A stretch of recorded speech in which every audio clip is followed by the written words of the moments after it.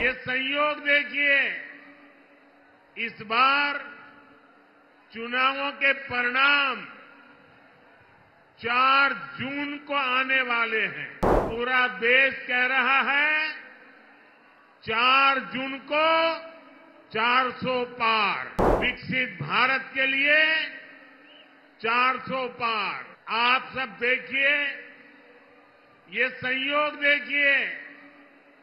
इस बार चुनावों के परिणाम 4 जून को आने वाले हैं।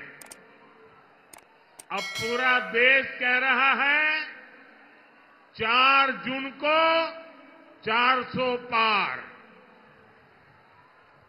विकसित भारत के लिए 400 पार। विकसित आंध्र प्रदेश के लिए 400 పార్ నాలుగు వందలు దాటాలి